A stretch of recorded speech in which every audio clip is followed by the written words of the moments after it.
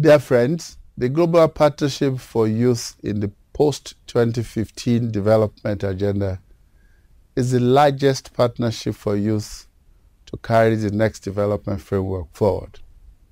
And today, it is my pleasure to invite you to join numerous youth organizations to use our crowdsourcing platform on youth and the post-2015 agenda.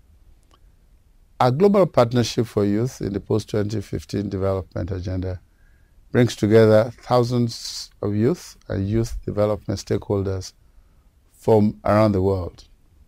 The post-2015 development agenda is a global contract for development that leaves no one behind and should not.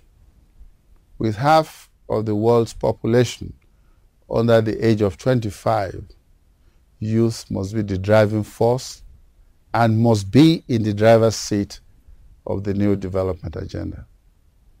Let's prove that this generation can end extreme poverty, ensure sustainability, protect human rights and dignity, and most importantly, address inequality.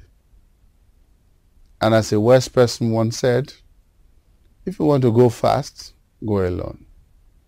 But if you want to go far, go together.